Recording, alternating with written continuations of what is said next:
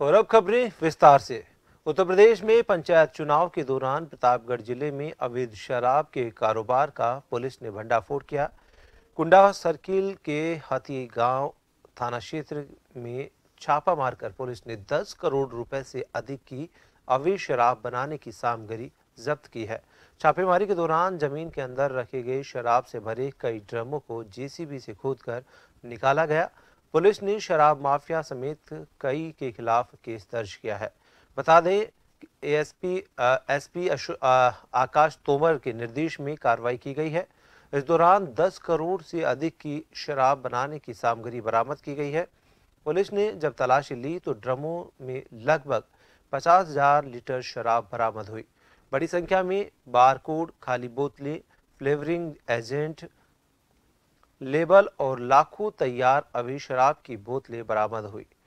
Police और excise team ने JCB का उपयोग कर ज़मीन के अंदर से शराब के ड्रमों को बरामद किया। अभी शराब का ये कारोबार 10 बीघा से अधिक के क्षेत्र में फैला हुआ था। मामले में पुलिस ने शराब माफिया पर एफआईआर दर्ज की है।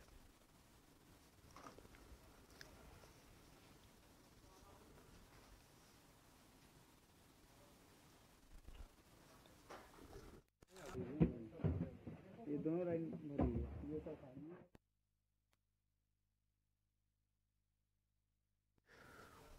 और ज़्यादा जानकारी के लिए संवाददाता केशव पांडे उत्तर प्रदेश के प्रतापगढ़ से हमारे साथ फ़ोन पर जुड़ चुके हैं। केशव, हम आपसे ये जानना चाहेंगे कि उत्तर प्रदेश में पंचायत राज चुनाव होने वाले हैं। साथ ही अभी प्रतापगढ़ में कुछ दिन पहले ही आधा दर्जन लोगों की जहरीली शराब से मौत हो चुकी है और अब प्रशासन जागा है। बड़ी कार्रवाई की है, एक फैक्ट्री का भंडाफोड़ किया है। फ़िलहाल क्या कुछ जानकारी है? देखिए, प्रतापगढ़ में जहरीली शराब पीने से लगभग एक दर्जन लोगों की मौत हुई। तो उसके बाद प्रशासन सक्रिय हुआ। एसपी आकाश तोमर के निर्देश पर लगातार ज़िले भर में पंचायत चुनाव को देखते हुए छापेमारी की जा रही पुलिस के द्वारा। और लगभग दो दो दिनों में बड़ी बड़ी कार्रवाई की गई है पुलिस के द्वारा। और, रात भर जो है, आज कार्रवाई होती रही है एसपी आकाश तोमर के नेतृत्व में। जहाँ पर 10 करोड़ की कीमत की अवैध शराब जो है पकड़ी गई है और शराब की फैक्ट्री का भंडाफोड़ किया गया है। और मैं आपको बता दूँ कि ये एक कुंडा इलाके के कुंडा सर्किल है वहाँ के हाथीगवा थाने इलाके के नौबस्ता गाँव का मामला है जहाँ पर आईजी आईजी जोन कमित प्रताप सिंह के नेतृत्व में जो है दबिश दी गई थी और दबिश में बड़ी कामयाबी पुलिस को मिली है। जी। केशव, आप बता सकते हैं दर्शकों को कि इस दौरान कितने लोगों को गिरफ़्तार किया गया है, कितने लोगों पर मामला दर्ज किया गया कुछ इस तरीके की सूचना है आपके पास? देखिए, मैं आपको बता दूँ कि कई लोगों को हिरासत में लिया गया है और जो मुख्य रूप से बताया गया है आईजी जोन कमित प्रताप सिंह के द्वारा कि शराब माफिया गुड्डू सिंह की फैक्ट्री है, जिसको जिसको जो है पुलिस ने भंडाफोड़ किया है। और उसी के बगल में लगातार हादीगवा थाने इलाके में लगातार जो है इसके पहले भी कल भी एक शराब फैक्ट्री का भंडाफोड़ किया गया था। और आज देर रात्रि तक आईजी जोन के नेतृत्व में आकाश तोमर कप्तान लगातार जो है कार्रवाई करते रहे लगभग चार छह घंटे रेस्क्यू चल, चलता रहा।